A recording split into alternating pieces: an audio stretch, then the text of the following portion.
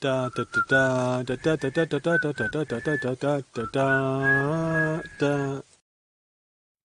The next game that I want to talk about is another resource game. That's going to be a theme resource game. And I'm talking about this game called Carcassonne.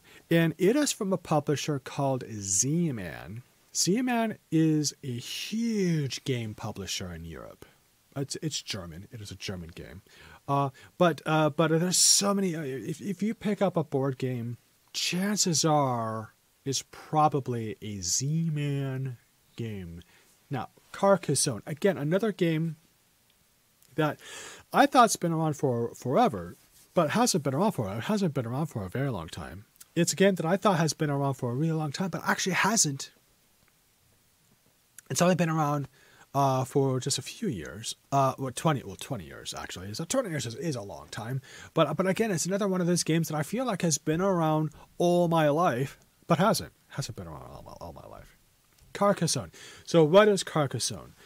What this is is just like how Settlers of Catan is. You are trying to grow yourself and acquire resources.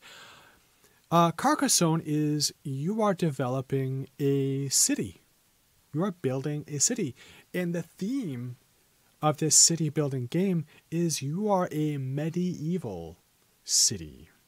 You're building a fort, a castle, in a, in a city around your castle and you're trying to defend it and, and pick it up.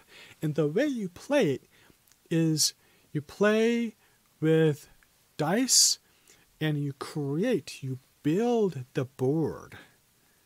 You build the board together with your with your the other players, and with tiles. You get the, these little square tiles, and you put them together to start building your your city and the land around your city to feed your city and, and to keep it to keep it alive and to, to help it to grow and you're given you're given the things you need to build the city but it, a lot of it is strategy. Mostly it is resource management management and trying to eventually get to you have a full complete city with an economy a population and you defend it um, and and at some point you have enough that you need and you run out of player pieces the pieces of, of the board game and that's when you win uh, you, you, have all that you need you can't get any more there's no more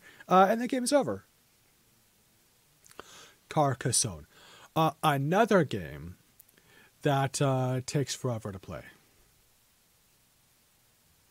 it's definitely another game that takes a really long time to play, but it's great fun to play with. Um, you can play with a small group of friends.